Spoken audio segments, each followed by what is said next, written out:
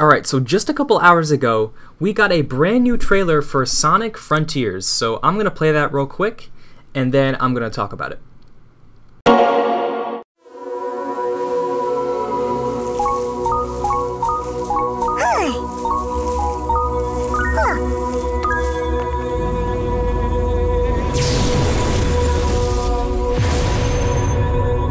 Submit. Reckless actions endanger the world.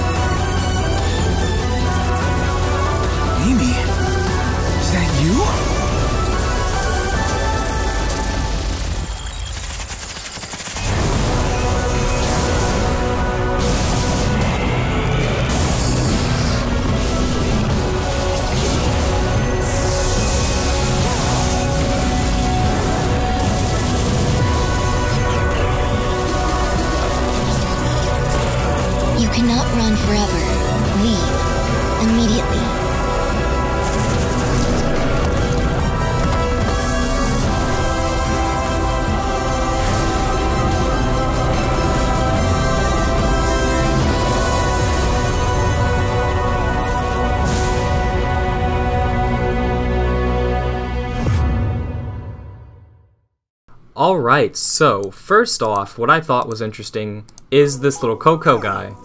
That's what they're named, if I'm not mistaken. And they're kind of reminiscent of uh, Koroks from Breath of the Wild, so yeah, that's interesting that they're copying even more from that game, but it's not that big a deal to be honestly. Then you have an enemy about to murder it, good god. Sonic saves it, as any good Samaritan would. Submit. And I've got to say, the CG does look quite nice in comparison to the Sonic Forces trailers. So yeah, cyberspace. I'm not a big fan of how basic the level design seems to be, and I'm also not a big fan of the um, of the reused level themes.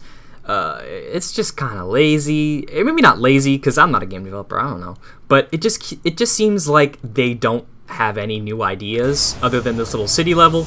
But again, they're definitely holding out. Hopefully, there's more new level themes. We also get to look at a brand new island, which seems to be like desert themes, so that's pretty cool. Uh, we already heard about this in the uh, 4chan leaks, so that's whatever, but yeah, we don't get to see a lot of it, which is my problem. Uh, I wish they would show us more. Like, obviously, this is supposed to be like a shorter trailer, so that's fine, but I wish they would show us more. It's definitely very teasy. And we also get to hear a new snippet from uh, Roger Craig Smith. This is definitely Roger Craig Smith. It's not some other voice actor like Sonic Twitter is acting like it might be. That's stupid. Just take a listen. Amy, is that you? Yes, it it's definitely Roger. There's no doubt about it. He's literally just talking in a softer voice. Like that's just what happens. You sound different when you talk in a softer voice. That's most definitely Roger. Let's not freak out. We get to look at some combat in the desert area.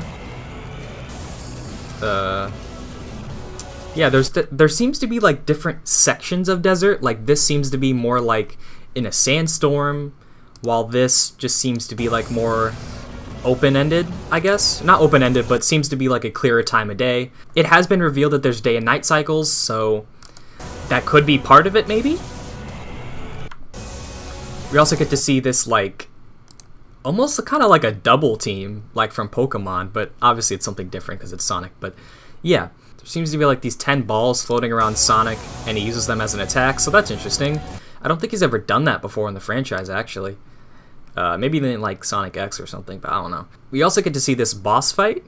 Um, seems to be like some like robot sand monster. I don't know. Uh, this like electrical fence arena is kind of weird. I don't know why I trapped him in. We also get to see this boss that we've seen from the Gematsu videos, so that's pretty cool. Um, yeah. As we can see, Sonic has like some sort of red artifacty look on his arm, so maybe he got like attacked and infected with something. Though it does go away, so it's probably temporary.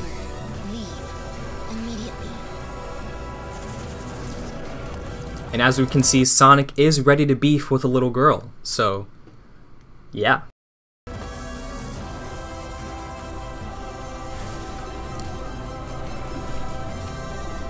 And this is the shot we already saw from Nintendo Direct.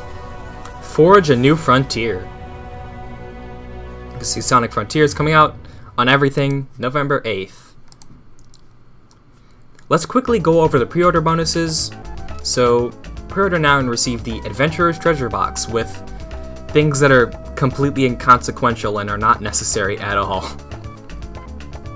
I mean, I would rather pre-order bonuses not be necessary at all, obviously, but I don't know, this is kind of a stretch. We've heard rumors of a skill tree in the game, so this is probably part of that. Like blue seeds of defense, red seeds of power, and skill points.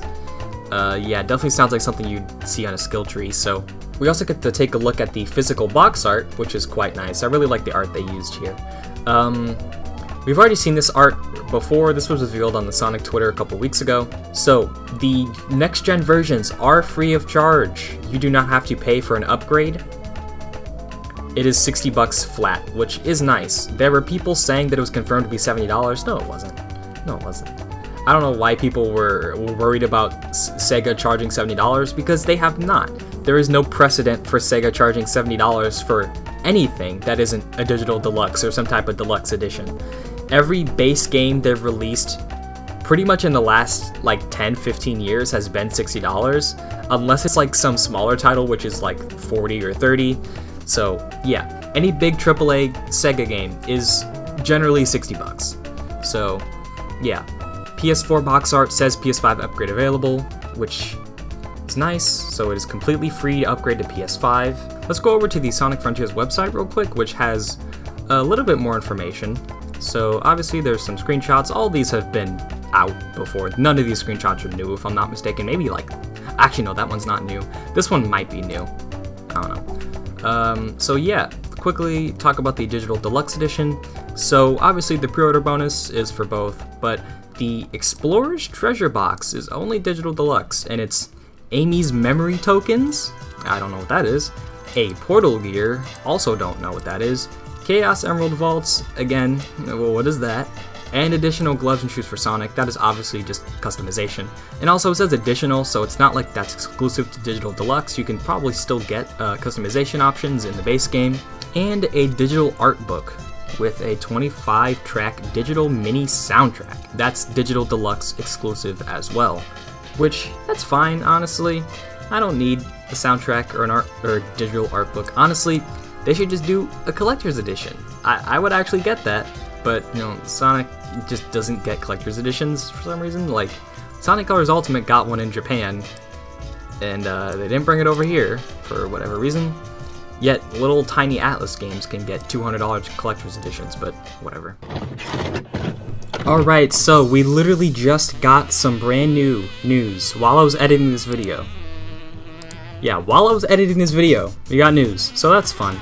Um, so, Sonic Frontiers pre-orders are now up at GameStop, I think Amazon, and Best Buy, and GameStop has an exclusive steelbook, which I think looks quite nice. It is actually different from that key art they showed us, so that's pretty cool. And there's also dun, da, da, da, Best Buy Steelbook. So if you want both, you have to buy two versions of the game. So that's fun. But I will say, I don't know which is better. I was originally looking at this one and saying, oh yeah, this one's so much better. But I don't know, like if they make the logo glossy and like the background matte with like more detail on it, I don't know, that would be interesting. Uh, honestly, I think I don't want to give GameStop money. That's the problem. I hate GameStop. But this their steelbook is quite nice. Um, I really hope there's no more news because I don't want to keep interrupting this video. But if there is, I will probably include it. So, yep, back to the video. Let's go over to the PlayStation Network real quick to check it out. It doesn't really to explain what the what the treasure box is in on the PSN store, but whatever. And as you can see, Standard Edition $59.99, Digital Deluxe Edition $69.99. So it is only $10 more for these little bonuses, so if you're going to buy it digitally, it's honestly not that bad a deal. Uh, you get some little extra stuff. Uh, you don't get to play it early, which I like. I don't like when Sega had games like Persona 5 Strikers, which was a brand new game at the time. I don't like how that was locked behind a four day early like play time. I don't like that at all. I don't mind ports being having early access, but a brand new game does not need to have early access. That's kind of unfair. So, yeah, um, that's pretty much it. I will say the trailer in general I think is a definite improvement over what we saw from Forces in terms of like the general quality. I think the CG looks better. The the voice acting seems to be better, but I don't know. Uh, the I think the level design from the cyberspace looks relatively similar, but I hope it's better. I wouldn't count on it though. Um, I don't think there's anything else. So, if you guys like the video, comment, like, subscribe. I've got a Patreon that you can pledge to if you'd like, and I also have a Discord where we just hang out and talk about games. So, with that, I will see you guys in the next one. Peace.